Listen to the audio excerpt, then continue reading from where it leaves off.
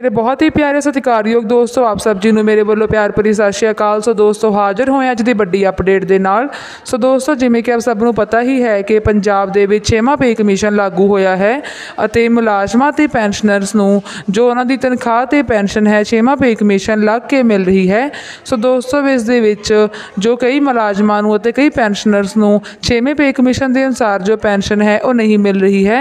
ਉਸ ਸੰਬੰਧੀ ਇਹ ਬੜਾ ਪੱਤਰ ਜਾਰੀ ਕੀਤਾ ਗਿਆ ਹੈ। ਇਸ ਦੀ ਸਾਰੀ ਜਾਣਕਾਰੀ ਜਾਣਕਾਰੀ ਤੁਹਾਨੂੰ ਅਸੀਂ ਅੱਜ ਇਸ ਵੀਡੀਓ ਦੇ ਰਾਹੀਂ ਦਵਾਂਗੇ। ਵੀਡੀਓ ਸ਼ੁਰੂ ਕਰਨ ਤੋਂ ਪਹਿਲਾਂ ਦੋਸਤੋ, ਛੋਟੀ ਜਿਹੀ ਰਿਕੁਐਸਟ ਹੈ ਚੈਨਲ ਤੇ ਪਹਿਲੀ ਵਾਰੀ ਆਏ ਹੋ ਚੈਨਲ ਨੂੰ ਸਬਸਕ੍ਰਾਈਬ ਜ਼ਰੂਰ ਕਰਨਾ ਜੀ।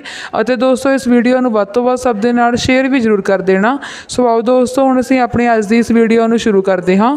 ਸੋ ਦੋਸਤੋ, ਇਹ ਵਾਲਾ ਪੱਤਰ ਜੋ ਹੈ, ਜਾਰੀ ਕੀਤਾ ਗਿਆ ਹੈ, ਜਿਸ ਦੇ ਵਿੱਚ ਕਿਹਾ ਗਿਆ ਹੈ ਕਿ ਸੇਵਾ ਕਾਲ ਵਿੱਚ ਵਾਧਾ ਲੈਣ ਉਪਰੰਤ 1 2016 ਤੋਂ ਬਾਅਦ ਸੇਵਾ ਮੁਕਤ ਹੋਏ ਕਰਮਚਾਰੀਆਂ ਦੀ ਪੈਨਸ਼ਨ ਦੁਹਰਾਈ ਸੰਬੰਧੀ, ਜਿਸ ਦੇ ਵਿੱਚ ਲਿਖਿਆ ਗਿਆ ਹੈ ਕਿ ਪ੍ਰੋਕਤ ਵਿਸ਼ਾ ਅੰਕੇ ਸੰਬੰਧੀ ਆ ਰਹੀਆਂ ਸਮੱਸਿਆਵਾਂ ਬਾਰੇ ਪੈਨਸ਼ਨਰਾਂ ਨੇ ਇਸ ਦਫ਼ਤਰ ਦੇ ਧਿਆਨ ਵਿੱਚ ਲਿਆਂਦਾ ਹੈ। ਸੋ ਆਪ ਜੀ ਨੂੰ ਹਦਾਇਤ ਕੀਤੀ ਜਾਂਦੀ ਹੈ ਕਿ ਜੋ ਵੀ ਕਰਮਚਾਰੀ ਸੇਵਾ ਕਾਲ ਵਿੱਚ ਵਾਧਾ ਲੈ ਕੇ 1 2016 ਤੋਂ ਬਾਅਦ ਸੇਵਾ ਮੁਕਤ ਹੋਏ ਹਨ, ਉਹਨਾਂ ਸੰਬੰਧੀ ਨਿਰਧਾਰਿਤ ਪਰਫਾਰਮੇ ਨੱਥੀ ਹੈ, ਵਿੱਚ ਸੂਚਨਾ ਸੰਬੰਧਿਤ ਖਜ਼ਾਨਾ ਦਫ਼ਤਰ ਨੂੰ ਤਸਦੀਕ ਕਰਕੇ ਭੇਜੀ ਜਾਵੇ।